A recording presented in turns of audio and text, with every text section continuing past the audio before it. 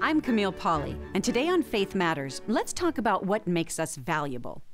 Abortion advocates often try to put a biological criteria on when a human being becomes a legally protectable person, such as it has to have arms and legs, it has to be able to breathe on its own outside the womb, it has to have a beating heart or a certain IQ.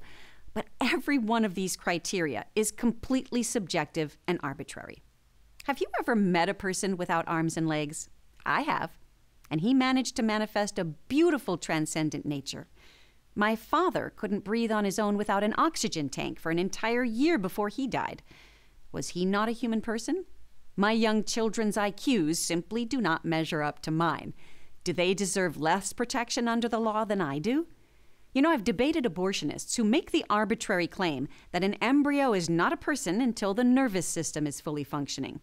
Well, aside from the inconvenient fact that the nervous system is not fully functioning until you're about 20 years old, what possible justification is there for excluding human beings from the category of personhood simply because their nervous systems are still being formed? Apparently, they don't need a fully formed nervous system to do what human beings do at that stage. So, why are we excluding them from personhood on that ground? The truth is, they contain the very same potential for actualizing the goodness of their transcendent nature that you and I have. And that's what makes them infinitely valuable.